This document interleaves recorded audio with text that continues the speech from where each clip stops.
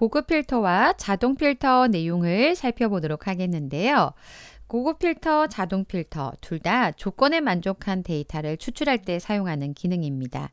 고급 필터는 좀 더 다양한 조건을 줄 수 있고 다른 위치에 추출할 수 있고요. 자동 필터는 간단하게 기존의 데이터를 활용해서 조건에 만족한 데이터만 음, 화면에 표시하는 기능입니다. 먼저 첫 번째 예제를 한번 보도록 하겠는데요. 현재 입력된 신입사원 합격 현황표에서요. 성별이 남자이면서 총점이 250 이상인 데이터에 특정 필드만 추출하고자 합니다. 조건은 A20부터 시작해서 조건을 작성하려고 하는데요.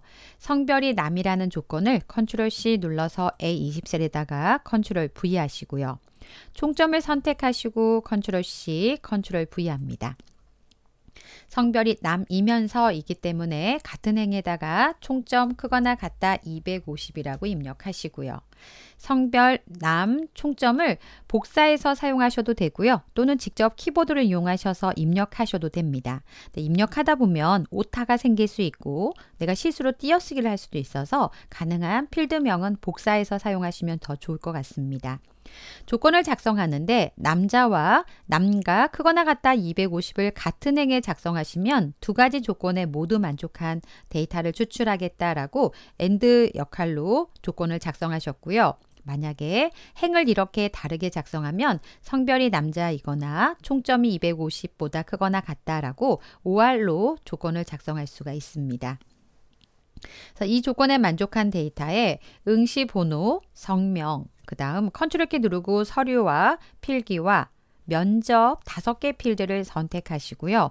컨트롤 C 눌러서 복사하신 다음 A25셀에다가 컨트롤 V 하겠습니다.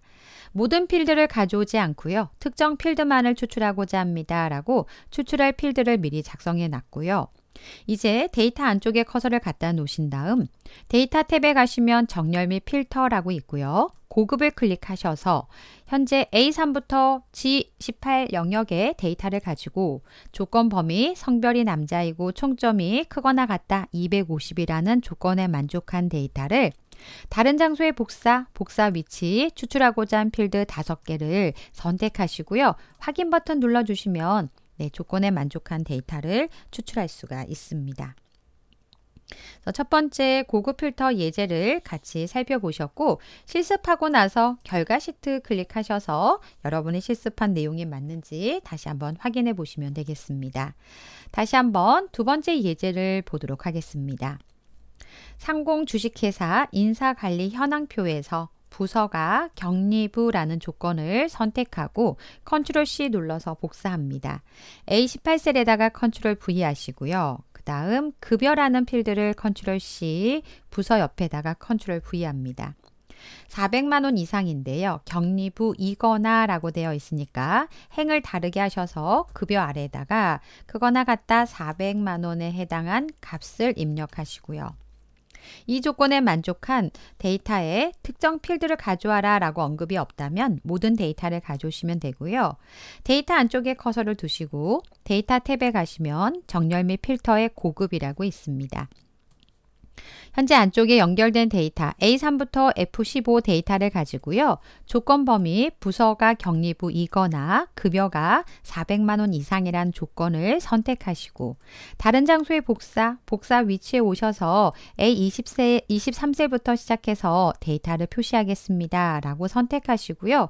확인 버튼 눌러주시면 경리부에 해당한 데이터도 나오지만 경리부가 아닌 데이터는 급여 데이터가 어, 400만 원 이상에 해당한 데이터가 추출된 걸 확인할 수가 있습니다. 결과 시트 클릭하셔서 작성한 음, 고급 필터가 맞게 작성이 되어 있는지 확인해 보시면 되겠습니다. 다음은 자동 필터 문제를 보도록 하겠는데요. 현재 데이터를 가지고 자동 필터를 실행하겠습니다. 라고 하시면 데이터 안쪽에 커서를 두시고요. 데이터 탭에 정렬 및 필터에 필터를 클릭합니다. 화면에서 달라지는 부분이 있다면 A3부터 G3 영역의 목록 단추에 목록 단추가 표시가 되어 있고요. 목록 단추를 이용하셔서 조건을 지정할 수가 있습니다. 성별의 목록 단추를 클릭하면 현재 남자, 여자 모두 선택이 되어 있는데요. 모든 선택을 해제하시고 여자만 표시하겠습니다. 라고 체크하시고 확인을 누릅니다.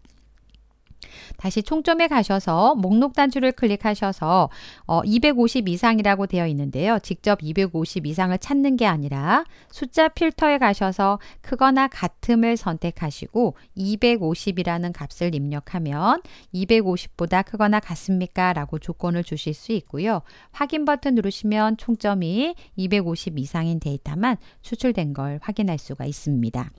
자동 필터를 실행하시면 기존 데이터에서 조건에 만족한 데이터만 화면에 표시되고요. 나머지 데이터는 이렇게 어, 숨겨서 표시가 되지 않습니다. 왼쪽 행 번호가 파란색으로 바뀌어 있습니다. 조건에 만족한 데이터만 추출되었다라는 표시이고요.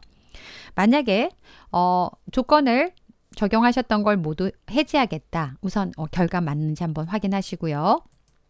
그 다음 조건을 적용하셨던 걸 조건만 해지하겠습니다 라고 하시면 데이터에 가셔서 지우기를 클릭하시면 모든 데이터를 표시할 수 있고요. 현재 표시된 어, 목록 단추도 표시되지 않도록 하겠습니다 라고 하시면 데이터에 가셔서 필터를 클릭하시면 자동 필터를 해제할 수가 있습니다. 그래서 고급 필터와 자동 필터 예제를 같이 살펴보셨습니다.